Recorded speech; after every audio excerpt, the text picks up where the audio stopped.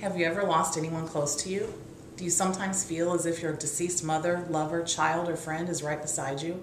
Can you feel his touch, smell her perfume, hear him singing or whispering to you? Are you crazy? Do you think others will think you're crazy if you tell them you saw or heard from someone in heaven? Well, you're not crazy. These communications happen all the time, everywhere, to everyone.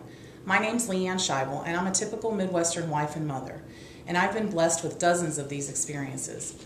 In my first book, Believe, I share several of my own personal stories, but my mission now is to help you make these connections with your deceased loved ones.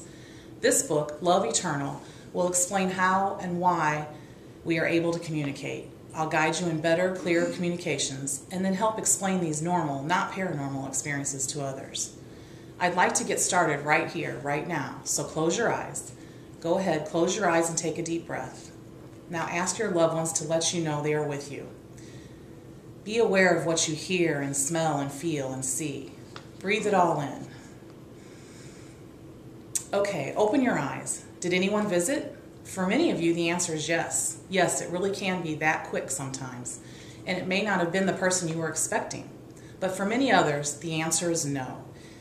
It takes time to travel, though. So be, be aware of everything that happens around you the rest of the day, the rest of the week, in fact and you, you may have a connection through a song, a butterfly, a whispering wind, or a touch or smell. And then acknowledge them, appreciate their visit, and celebrate it. If you closed your eyes and participated with me, then you have the foundation, which is belief. Although these communications are extraordinary, priceless gifts from beyond, they are indeed typical, not unusual. As our world makes this shift to live more consciously, we're now able to experience things more fully than any other time in our history. We're now aware of our oneness and connectedness to each other and the divine, and the common thread is love. Unconditional love is eternal. Step inside my next book, Love Eternal, and be connected.